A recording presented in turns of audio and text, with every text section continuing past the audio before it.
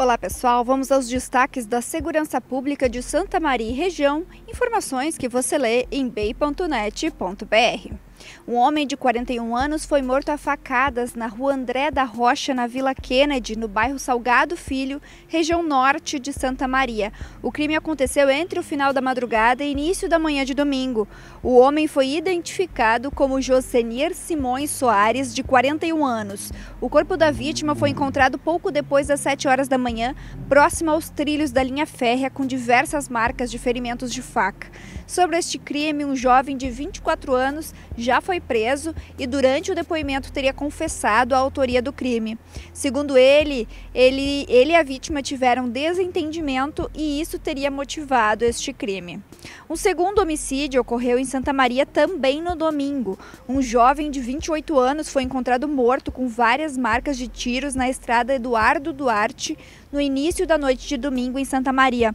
Um motorista que passava pelo local por volta das 7 horas da noite ligou para a polícia informando que uma pessoa estava caída na lateral da estrada. A vítima foi identificada como Iago Almos da Silva. Ele apresentava pelo menos seis ferimentos de tiro. Este foi o segundo homicídio do domingo em Santa Maria e com estes crimes a cidade já registra 43 homicídios em 2021.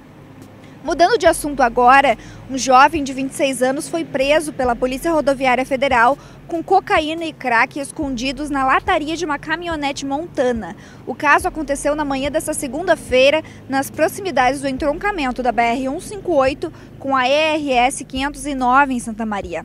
Os policiais abordaram o veículo e, ao revistarem, encontraram os 9 quilos da droga escondido na lataria do veículo. O jovem, que é natural de Santa Maria, foi preso e foi encaminhado à penitenciária estadual de Santa Maria.